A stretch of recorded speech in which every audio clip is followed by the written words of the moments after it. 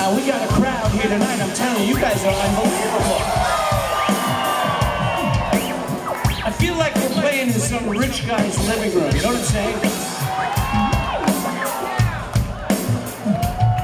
How about we do a little sing-along, see if we can make a little noise in here tonight. What do you think, folks?